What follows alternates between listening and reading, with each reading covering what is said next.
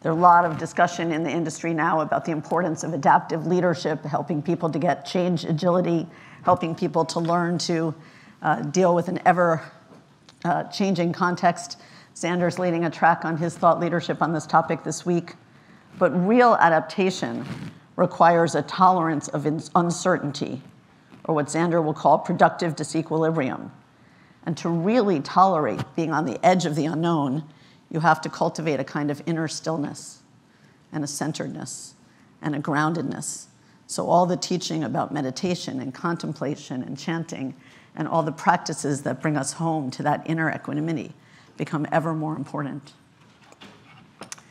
There's, of course, an enormous movement in the industry on addressing needs for greater diversity and inclusion. And many of the programs that are trying to address that are doing it in a fairly tactical or technical way. But we would argue that in order to have real diversity and real inclusion, you have to have a very potent interest in other people's experience, how it's different than your own, and a receptivity, a cultivated, committed, steady receptivity to hear the pain of what it means to be marginalized or in an oppressed group. And finally, you can't have psychological safety and mental health in an organization or emotional well-being without being sensitive to and proactively addressing the trauma that we all carry. So these quests that we're on as organizations, as leaders, as a society, they call for deep inner work, which is why many of the tracks this week are not teaching tools or techniques. They're asking you to do this sort of inner exploration of your heart and your soul, and to bring the best light that you are into the work. So, another way to say this is that everything that's happening in our industry reflects a universal movement, slowly and steadily, from a society that's formed by fear to a society that's emboldened by love. So, there really are two big secrets in corporate life. I'm gonna tell you both of them.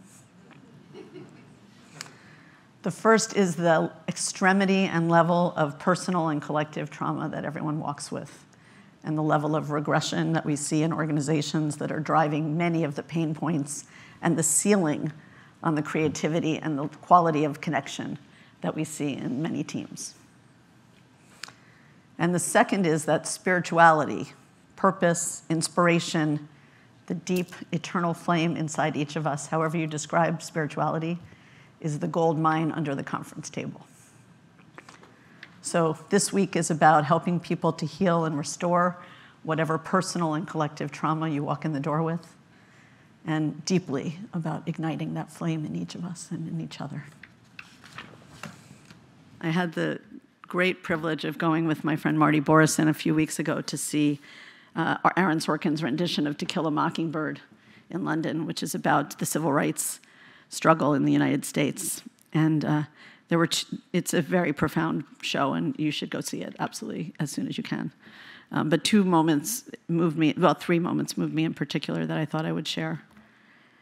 There's a moment where the civil rights lawyer, who's a very just man, is being asked by his daughter why some of the men in the community are in the Ku Klux Klan. And he says something that rippled through me like a lightning bolt. He says, "When they lost the Civil War, they lost their dignity, and they're trying to get it back," which is the same thing they say about the Germans before World War II. And she says, "But Daddy, that was 70 years ago." And he says, "It was yesterday. It will always be yesterday." That's what collective trauma does. It's a permanent mark in the fabric of society until it gets repaired.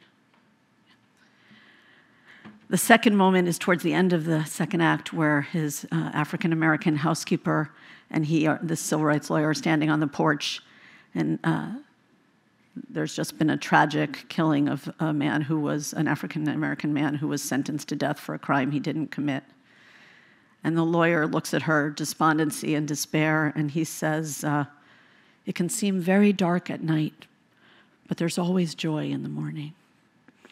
And she says, "The morning's taking a really long time to get here." So just feel the truth of that. And the many, many lives are tou- touched by that truth. The last moment I would share with you is that they end the play singing a hymn.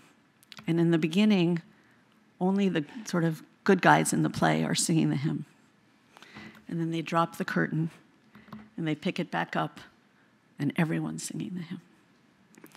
And I thought, that's what happens when we die. When the curtain lifts, when the veil lifts, we can see the goodness in everyone. So let's be that person now. Let's, let's end the splits of the polarity of the good and the bad and be that healing remedy now, everybody.